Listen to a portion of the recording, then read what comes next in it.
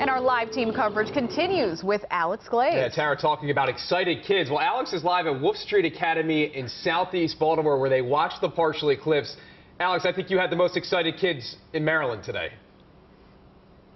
I think so, Rick. Listen, Nikki and Rick, it got darker and it got cooler here, and the kids were absolutely amazed by this eclipse. It's something that they had never experienced, and I had the honor to take it in with them, and honestly, it made me feel like a kid again. These kids so special and so just amazed by this experience.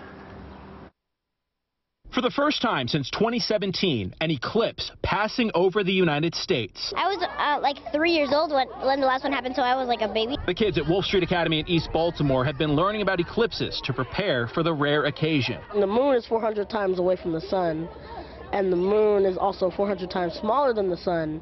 It perfectly, it could perfectly align. Baltimore, not on the path of totality where the full eclipse could be viewed, but close enough for kids to experience awe and wonder. It looks like somebody took a bite out of a yellow cookie. I see the moon and, the sun. The moon's kind of just like, hi guys, I'm here. Here and gone in moments, but memories that will last a lifetime. And that next eclipse, we got to wait 20 more years, and these kids reminded me that they will be 29 and 30 years old the next time this thing comes around. I mean, they'll be me. they will be me. Uh, so just incredible experiences with them, guys. Yellow cookie. I love it. Those kids are adorable. Alex, you're a kid at heart, so you fit right in. Good stuff. Thank you.